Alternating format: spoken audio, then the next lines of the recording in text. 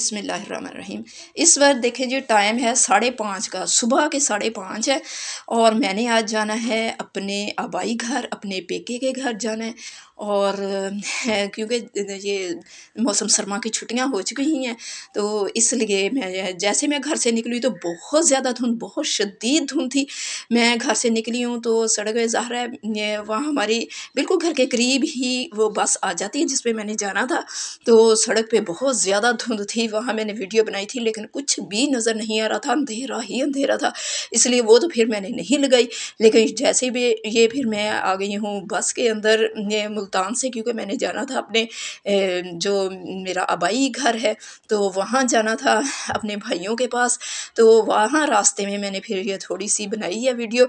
ये देख सकते हैं आप जी, इतनी शदीद धुंध, सबको पता है। आप लोग देख रहे हैं कि पंजाब में आजकल कितनी ज़्यादा धुंध हो रही है। तो इस वक्त तकरीबन ये टाइम था सुबह के साढ़े आठ बज चुके हुए थे इस टाइम और इतनी ज़्यादा धुंध थी कि दूर दूर तक कुछ नज़र नहीं आ रहा था। तो अब अंदाज़ा कर लें इससे कि सुबह साढ़े पाँच बजे कितनी ज़्यादा धुंध होगी। तो मैं तो फिर अल्लाह ताला का नाम ले के अल्लाह पे भरोसा करके घर से निकली हूँ। बिल्कुल घर के नज़दीक ही ये तकरीबन दो, या तीन मिनट के फासले पर जो है वो हमारी सड़क पे ना, वो बस आ जाती है। उसके ऊपर बैठ के फिर मैंने जाना वो डायरेक्ट वहाँ जाती है, हमारे शहर में जाती है। तो शहर में ऐसे कि थोड़ा सा तकरीबन छः सात किलोमीटर पीछे वहाँ हमें बस उतार देती है। आगे से फिर वहाँ मेरा भतीजा आ जाता है वो लेने के लिए।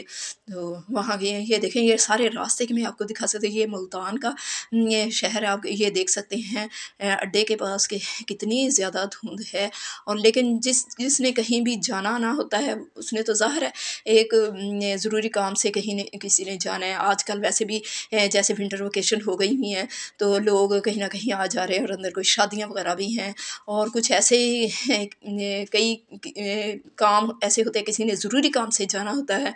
तो इसी तरह कई लोग ऐसे होते हैं, रोज़ी रिज़ की तलाश में जो जाते हैं, उन्हें जाना ये देखें, वहाँ से अब मैं अपने शहर के अंदर एंटर अब होने ही वाले हैं। ये रास्ते में देखें कितने खूबसूरत, ये हमारे पंजाब की खूबसूरती है, ये मैं आपको दिखा रही हूँ। हमारा पंजाब का जो देहात है ना, देहाती इलाके जो शुरू हो जाते हैं, ये देखें कितने खूबसूरत है। और वहाँ से फिर एंटर होते हुए ये हमारा जो है, वो कैंट एरिया है। वहाँ की भी, वो भी मैं आपको फिर रोड दिखाऊँगी कि ये देखिए वहाँ से फिर आ गई। मैं, मेरा भतीजा, जो अदील है, वो मुझे लेने के लिए आ गया हुआ था और वहाँ से फिर मैं उसके साथ मोटर बाइक पे बहुत ज़्यादा सर्दी थी, इंतहाई सर्दी, यख हो रहे थे, हाथ पाँव सर्दी की वजह से। तो वहाँ से एंटर हो गए हैं हम अपने सिटी में जहाँ मैंने जाना था। मेरे भाइयों का घर है, मेरा मेका घर है, ये मेरा मेका शहर है। तो मुझे ज़ाहिर है, हर इंसान को अपनी जो होती है ना धरती, उससे प्यार होता है और ख़ास तौर पर जो उसकी कहते हैं जन्म भूमि जिसे कह देते हैं कि वहाँ से उसे, उसकी मिट्टी से प्यार होता है। जैसे ही मैं हालाँकि अब यहाँ मुझे रहते हुए, मुल्तान के इलाके में यहाँ रहते हुए पंद्रह साल गुजर चुके हैं, लेकिन मुझे अपना शहर अभी भी ऐसे भी है जैसे ही अंदर एंटर होते हैं शुरू में नहरें आ जाती हैं। नहरें जब ये वहाँ से गुज़रते हैं तो इतनी बहुत ज़्यादा खूबसूरती लगती है ना। ये दो नहरें हैं, एक कच्ची और एक पक्की नहर। वहाँ से गुजरते बहुत अच्छा लगता है।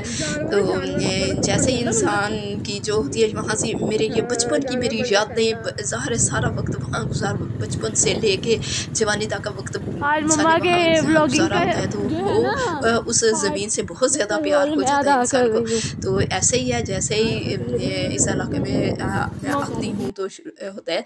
तो एक ख़ास किस्म की एक प्यारी सी खुशबू होती है अपने इलाके की, अपनी धरती की। एक खुशबू होती है कि जो इंसान को खींच कर ले आती है और बहुत अच्छा लगता है, बहुत अच्छा लगता है। इंसान जब ये देखें, अब जहाँ मैंने जाए जिस कॉलोनी में मैंने जाना है, वहाँ हम एंटर हो चुके हुए हैं। मौसम भी अब ऐसे था कि धुंध कुछ हल्की हल्की सी हटने लग गई थी और बादल बन चुके हुए थे। लेकिन सर्द, ठंडी या हवा थी तो बिल्कुल अब घर के करीब ही हम पहुँचने वाले हैं, क्योंकि वहाँ आज थी बर्थडे। तो मैंने, बर्थडे पार्टी से सेलिब्रेट करनी थी। उसके बाद जो मेरे बड़े भाई का घर, जो मेरी अम्मी का घर जो था वहाँ फिर मैं अब बाद में जाऊँगी, दूसरे दिन मैं जाऊँगी। तो ये यहाँ भी हमने जाना है। छोटे भाई के नवासे की बर्थडे है। यानी मेरी बेटी हुरिया जो है, उसकी, नंद के बेटे की बर्थडे है। तो वहाँ जाना है। तो बर्थडे पे जाने से अब पहले फिर हम लोग घर में गए हैं, मैंने चाय शाय पी है तो फिर बाद में अदील के साथ बाज़ार गए हैं, क्योंकि मैंने बर्थडे का गिफ्ट वगैरह जो लेना था वो मैं और हुरिया और अदील हम लोग बाज़ार गए वहाँ से हमने गिफ्ट ख़रीद लिया हुआ है। और ये देखें मेरे बाज़ार की, मेरा जो शहर है बाज़ार की खूबसूरती देखें मुझे तो बहुत अच्छा लगता बहुत ही ज़्यादा। हर इंसान को ऐसे ही होता है कि उसको, उसके अपने आबाई घर से, अपनी ज़मीन से, अपने वतन से, अपने शहर से बहुत ज़्यादा प्यार होता है। तो ऐसे ही है कि मुझे भी अपने शहर से बहुत ज़्यादा प्यार है तो बहुत ज़्यादा हर चीज़ अच्छी लगती है, हर चीज़ की खूबसूरती जो है वो निराली है। तो ये तकरीबन शाम का वक्त है तो अब हमने ये गिफ्ट वगैरह ख़रीद लिया है, जो मैंने बच्चे को गिफ्ट देना है। ज़रा वो मेरा भी एक किस्म का ऐसे नवासा ही लगा है, क्योंकि मेरी भतीजी का बेटा है तो वो मुझे नानो कहता है, अभी तो एक साल का हो गया, उसकी पहली बर्थडे है। तो उसकी सेलिब्रेशन में मैंने जाना था क्योंकि इन्होंने मुझे कॉल करके, कॉल के वैसे आना तो था, मैंने छुट्टियों में छुट्टियाँ हो चुकी ही थी तो इसलिए अब ये देखें जी, शाम का वक्त, रात को तकरीबन मगरब के बाद हुए तो पहले पटाखे वगैरह उन्होंने चलाए, जैसे आतशबाजी होती है हल्की सी है उसके बाद ये उसकी तैयारी हो रही है, गुब्बारे वगैरह फुलाए जा रहे हैं बहुत ज़्यादा घर में ही सेलिब्रेशन थी तो बहुत ज़्यादा खूबसूरत बैलून वगैरह ये फुलाए जा रहे हैं, उसकी तैयारी की जा रही है। बच्चे भी बहुत ज़्यादा एक्साइटेड थे आस पड़ोस के बच्चे, मोहल्ले के और जो कुछ मेहमान वगैरह आए हुए हैं।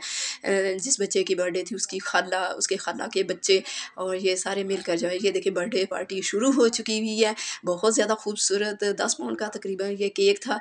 बहुत ज़्यादा खूबसूरत बनाया गया था केक। ये बच्चे ने बर्थडे का केक कट किया है यहाँ पे। दुआ है कि अल्लाह ताला इस बच्चे की उम्र दराज करे अल्लाह इसे नेक बनाए। और ये देखें जी इसे ये ये जो ये देखें गोल्डन रिंग है। ये, मेरे भाई ने दी अपने नवासे को, यानी नाना नाना जाने जो नाना अबू हैं, उन्होंने अपने नवासे को ये गोल्ड की रिंग पहनाई है। और ये सारे छोटे छोटे बच्चे जो हैं, वो अपने अपने गिफ्ट दे रहे हैं और बहुत ज़्यादा खुश हो रहे हैं। ज़ाहिर बच्चों की खुशी का एक लम्हा होता है, ये आपस में फैमिली का मिल बैठने का, ये एक बहाना होता है। ये देखिए, ये एक कैट दी है, ये भी किसी बच्चे के किसी कज़न ने और ये बहुत ये देखें जी खूबसूरत कैट है ये देखें ये ये वाला बच्चा है हैदर अली, इसकी बर्थडे थी। ये उसकी खाला लगती उन उन्होंने बच्चा इस ये गाड़ी दी है। खुश हो रहा है उसकी खाला ने जो इसे गाड़ी दी है बहुत खूबसूरत गाड़ी है। ये मिल बैठ के बैठने का एक बहाना होता है कि इंसान चलो सारे फैमिली के अफराद। वैसे आजकल इतनी मसरूफियत के दौर में किसी के पास इतना टाइम ही नहीं होता कि आए। लेकिन ये छोटी छोटी सी खुशियों के लम्हात होते हैं जिन्हें इंसान आपस में ये शेयर करता है। तो ये हुरिया ने बबल गन दी है इसमें से बहुत ज़्यादा खूबसूरत बबल निकल रहे हैं। तो उसके बाद ये था कि वो फिर बाद में गिफ्ट खोले गए ना तो खोल के फिर सबने अपने अपने जो वो दिए हुए थे, खुश हुए हैं। उसके बाद ये खाने पीने का इंतज़ाम था, कुछ प्लेटर्स वगैरह थे मंगवाए हुए। जी, बहुत ज़्यादा हमें मज़ा आया। तो अपनों से मिलकर भी है और बहुत ज़्यादा खुशी का ये वक्त था। तो अगर आपको मेरी वीडियो आज की पसंद आई हो तो लाइक ज़रूर करें, शेयर करें, कमेंट्स ज़रूर कर दें। और जिन्होंने अभी तक मेरे चैनल को सब्सक्राइब नहीं किया है तो आप लाजमी सब्सक्राइब कर दें। अल्लाह ताला से यही दुआ है कि अल्लाह ताला हर किसी को अपने हिफ्ज़ मान में रखें, खुश रखें। दूसरों के लिए दुआ ज़रूर किए। इसी के साथ इजाज़त दे दिए जी अल्लाह हाफिज़।